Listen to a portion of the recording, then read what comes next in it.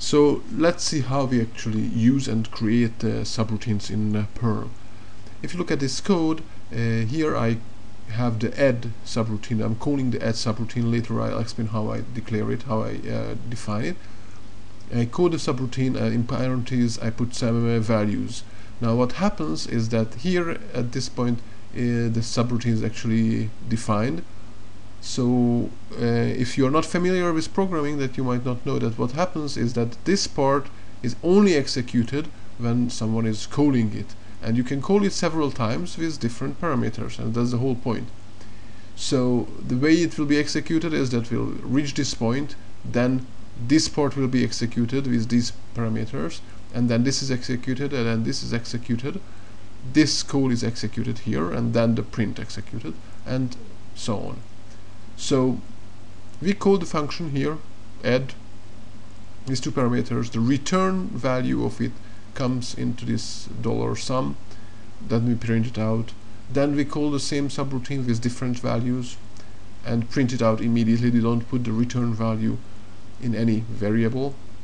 Here we call another function which is called add2 it's just a different implementation of the same idea again with two values we get the result in some variable and then print it out and then we even have a third function here called sum that has four parameters and uh, it again returns something that we print, print out.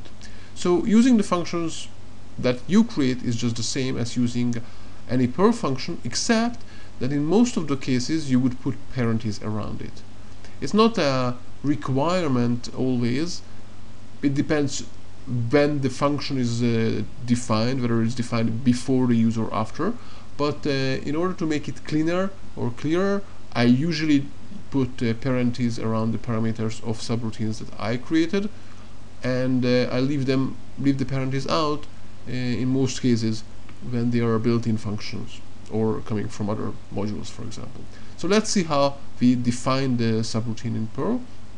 We use the sub keyword and then we provide the name of the new subroutine and then a block and within the block we, we explain what the, the, the code uh, needs to do now there is no parentheses here, there is no uh, declaration of parameters, there's no prototype uh, as in other some other languages, for example as in C, there's no such thing.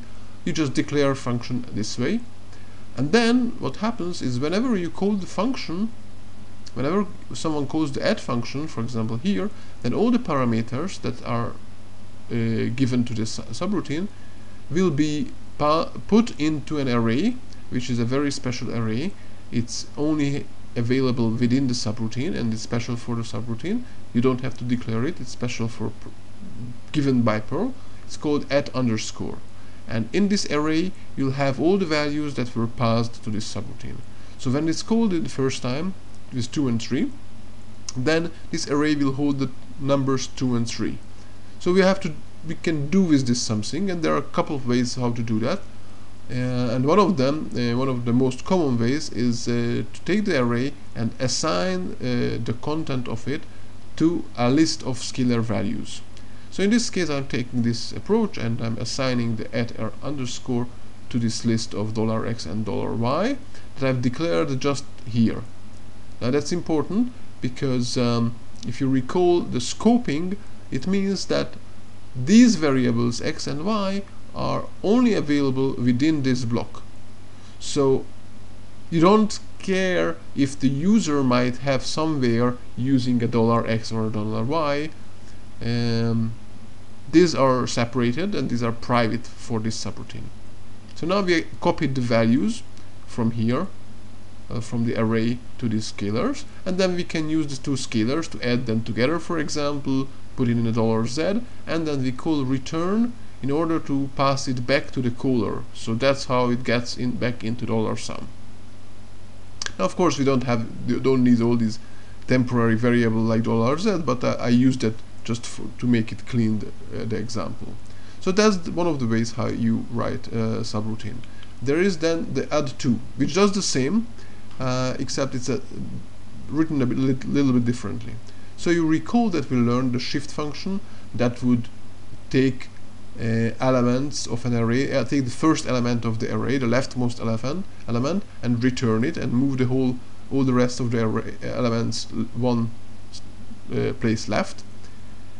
Uh, and here we are using that fun function, but we don't give the name of the array.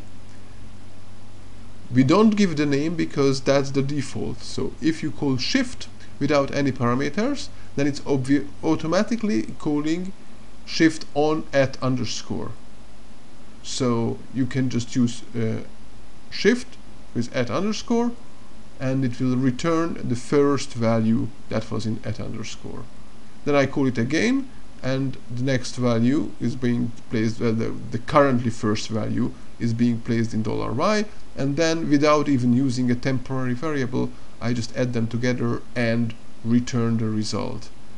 Now you might ask which one to use and well there are people who prefer the first one there are people people who prefer the second one then there are people who say that it depends on the on, on the usage and then there are even use cases when there when a mix of the two is the most useful. So you would shift out the first or, or a couple of the elements from the array from the at underscore array and then use the rest of the values inside at underscore array somehow. So use whichever fits uh, better for you. Now there's a third version here called add ugly and I haven't even used it ab above. It's uh, it's really it looks ugly and I wouldn't recommend to use it but I wanted to show you that it can work so at underscore is just an, under, uh, an array, a regular array, which is a name underscore. So as with any normal array, you could in element reach the elements of it by indexing it. And how do you do that? You replace the at mark with a dollar mark because now you are talking about a single element. And then after the dollar underscore now you put a square bracket and then index inside. So this is going to be the first element from the array and this is the second element and we just add them together and return. Now this is the shortest for all these three and for really really small subroutines this is acceptable so like this in this case that might be acceptable but it's still ugly and I probably wouldn't recommend it. And let's see the last example here. This is uh, the sum function. In this case we decided that it's we don't care how many elements uh, the user will uh, pass. So we're not uh, assigning to any fixed number of uh, variables uh, at the the dollar the at and underscore array but in instead we loop over with a for each loop. So what it, this does it sums the elements in the at underscore array. So we have just a simple scalar zero in it and then we go over one by one each element putting into dollar $v each value and then adding that value to the sum and returning the sum. So as you can see in Perl on one hand you can create a function and then use a, a specific number of elements uh, on the other hand, the user can pass any number of elements uh, she wants and Perl doesn't really care. But it's very easy in Perl, as in this example shows, to create a subroutine that can have a variable name number of parameters, which might be difficult in some of the other languages.